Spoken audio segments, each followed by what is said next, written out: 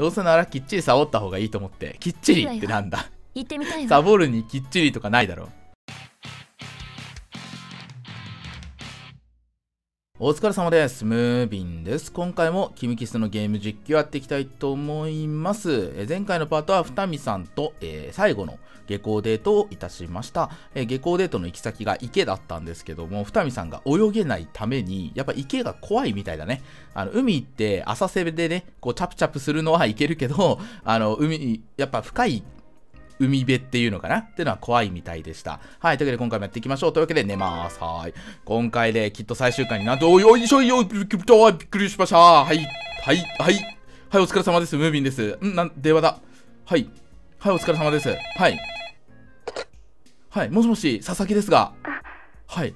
私二見恵理子あ、二見さん。はい。あ、二見さん。どうしたの？珍しいね。電話でかけてくるなんて。すげえびっくりした。電話来て。迷惑だったあ 迷惑ではない。大丈夫ですよ。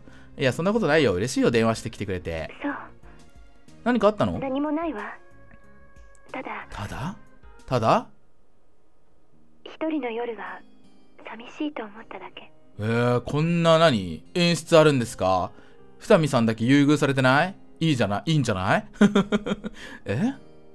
二見さんが一人でいて寂しいだなんて。変よねそ、そうだね。自分でも驚いてるわあなたの声が聞きたくなるなんて結婚しよう。二見さん。学校へ行けばまた会って話せるのにそれが待てないなんて思いもよらなかったわ自分の中でもね、佐々木のことが好きっていう感情があまりにも大きくなりすぎて、制御が効かないことに動揺してるんだろうね。人の心は不思議ね自分の思いでさえ自由にならない。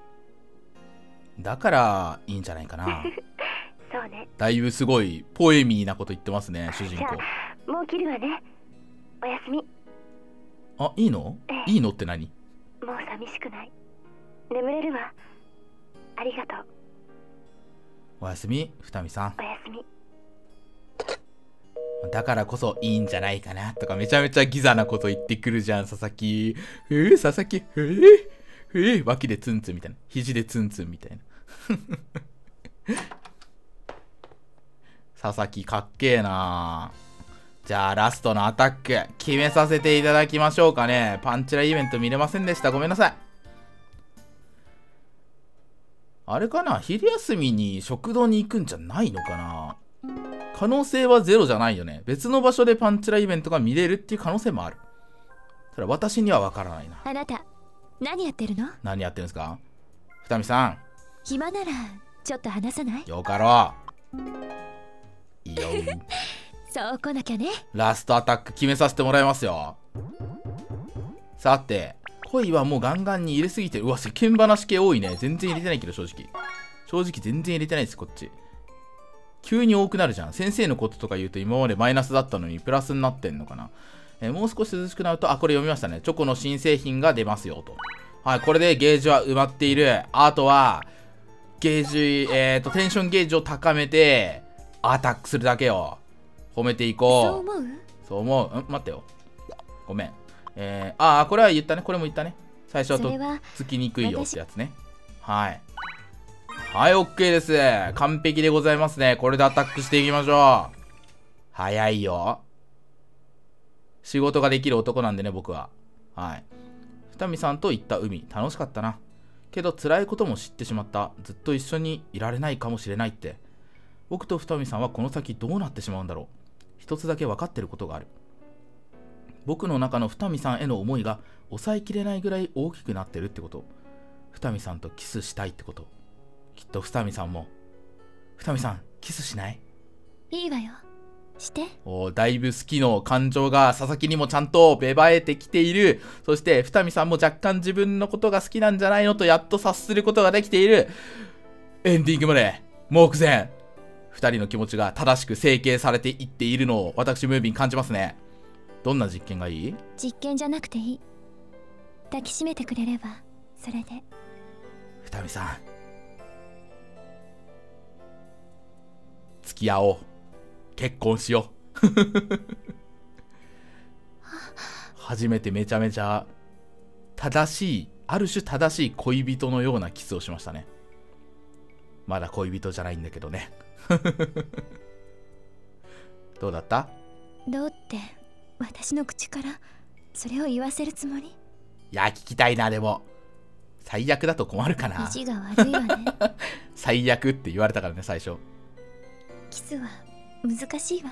おおーどうして？してる時は幸せだけど終わるとその分切なくなる。大人じゃん。だから何度もしたくなってしまう。何度もしよう。あは。二見さん。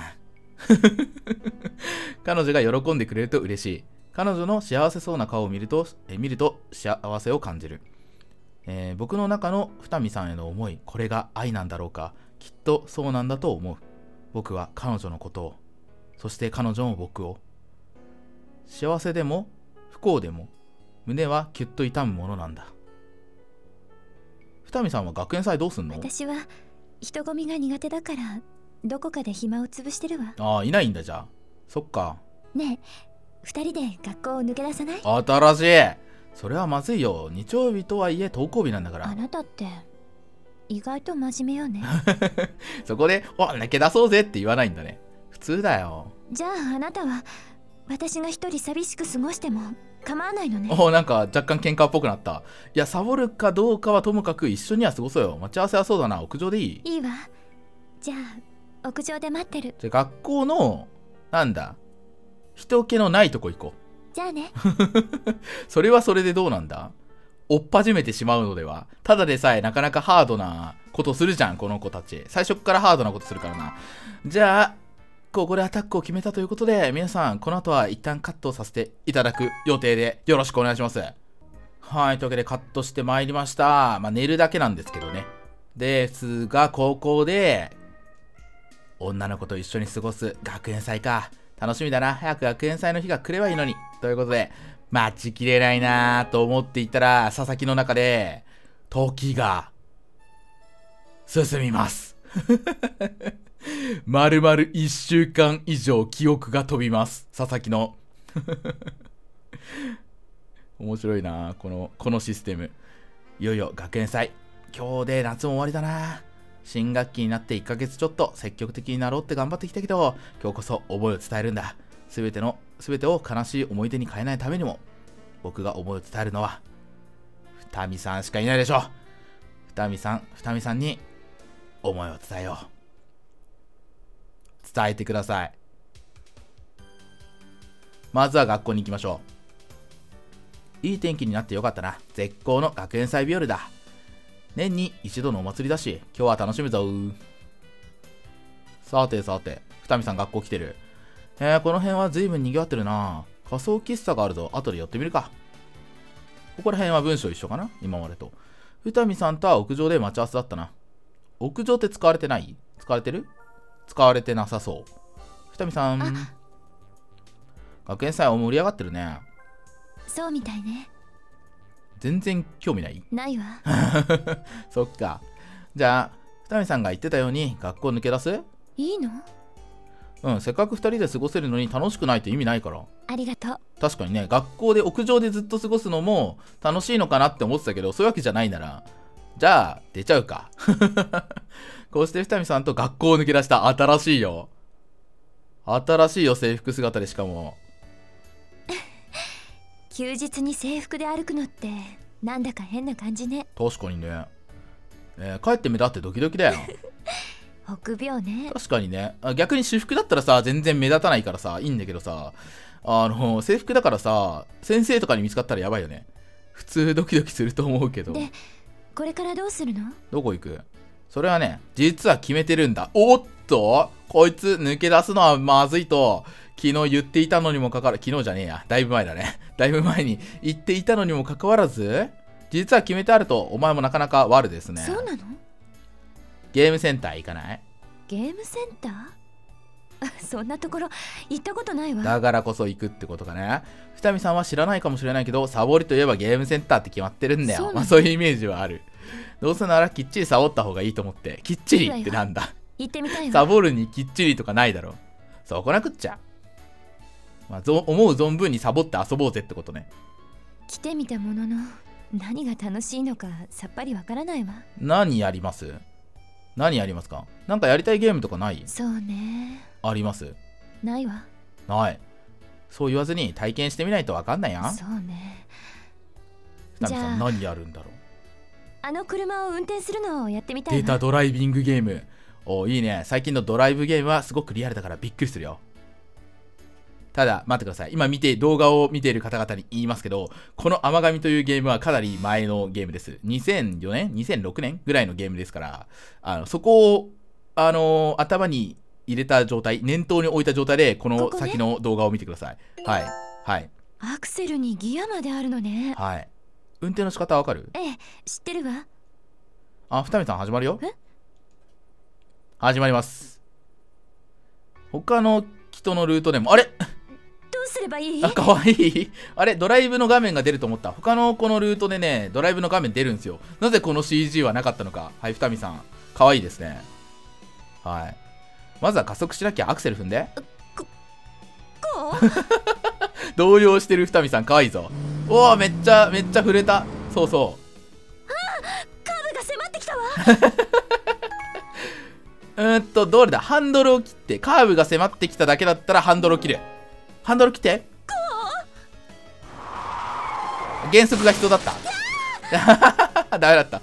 減速をしすればできたか。もう曲がりきれなかったじゃない 怒んないでよ。ごめんごめん、アクセル踏んで加速して。分かったわよわ、分かったわよ。次は左カーブだわ。落ち着いて。よし、今だ。これも、これこそ減速じゃない？減速して。それ。お、いい感じ？いい感じ？いい感じ？ここでハンドルを切ればあいいのね。減速すればハンドルを切る瞬間がわかるのか。そうそうそう。なるほどね。おーおこんなゆ揺れんのね。ナイスクリア。いい感じだわ。楽しそうじゃん。先が見え先が見えないってことあんの？その段差を乗り越えるとあ下り坂だから見えないのか。どういやここは思いっきりアクセルを踏む。飛ぶぞ。飛ぶぞ。そうそう。こんなにスピード出して大丈夫？大丈夫。ほら。ダン。バンダン。ジャンプしたわ。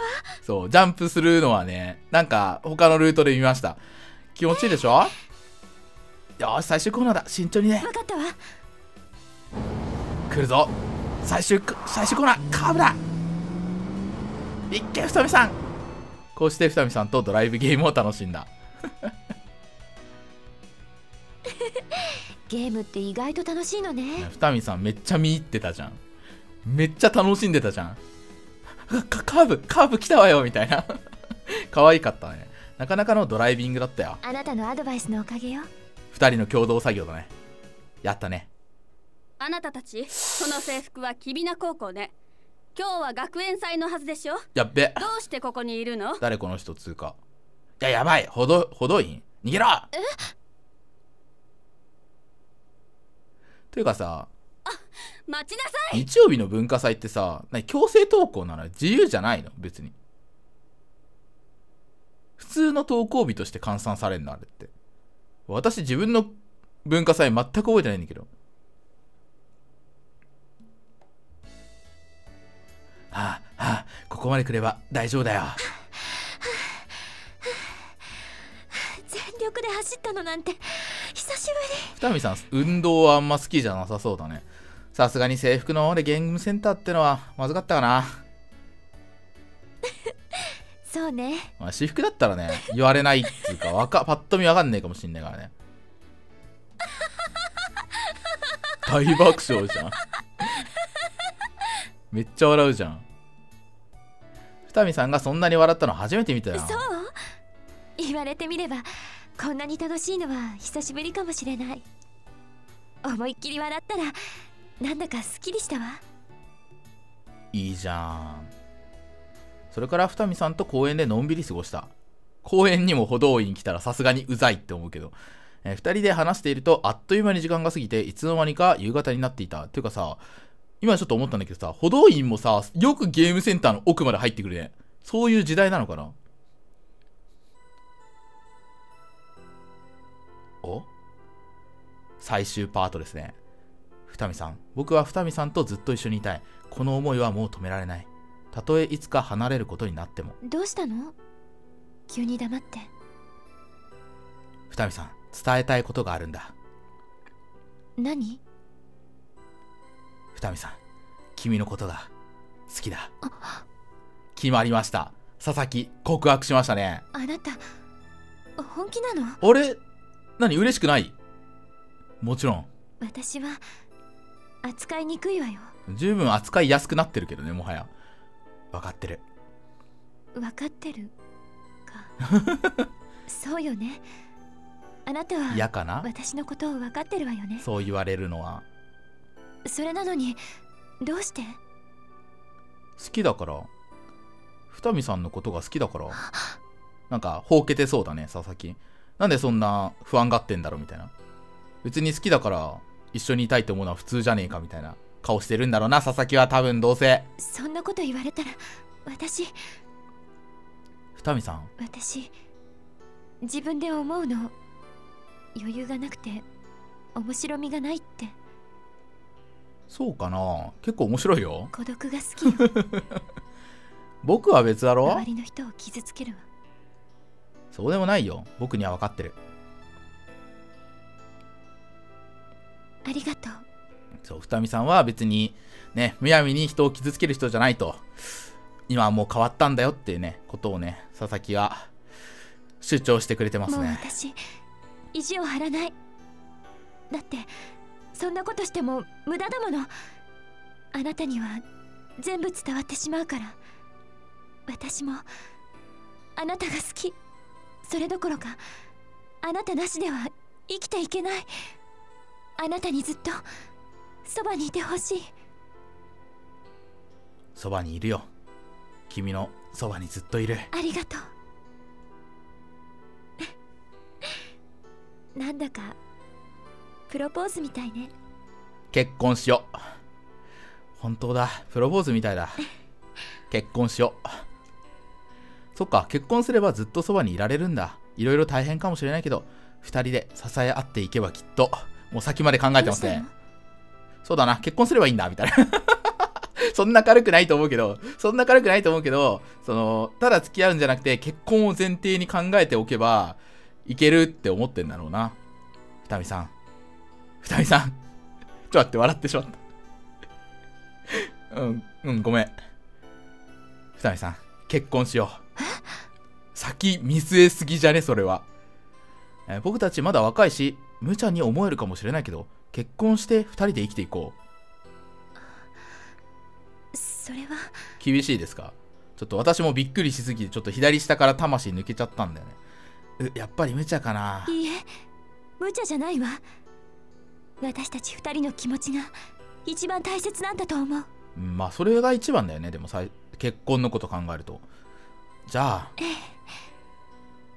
私嬉しいこんなに嬉しいのは生まれて初めて。私をあなたのお嫁さんにして。結婚した。久美さんブランコに乗ろブランコに？うお嫌がってたよね。僕が支えてあげるから過去のことなんて二人なら大丈夫だよ。いいね。いいね。は最高か？手を離しちゃ嫌よ。最高じゃん分かってる。絶対に話さないよ。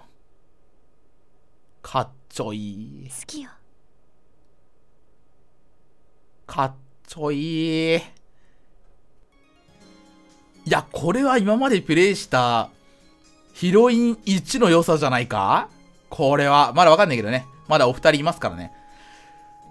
いやーよくできてんなーはいというわけで二見さんルートいかがだったでしょうか？やっぱねギャルゲは気難しい女を攻略するに限りますなはい ねよかったね、本当に。はい、振り返っていきましょう。はい、二見さんはね、やっぱり、不思議ちゃんと言いますか、心を閉ざしてるタイプのキャラクターだったね。やっぱ勉強もすごいできるってこともあって、あの、学校の中では浮く通だったら、いい意味で浮くんですよ、勉強ができる人って。みんなから頼られたりとかして、あの、いいポジショニングを築いていくはずなんだけれども二見さんの場合はちょっとひねくれてる部分があるんだと思うんですよ。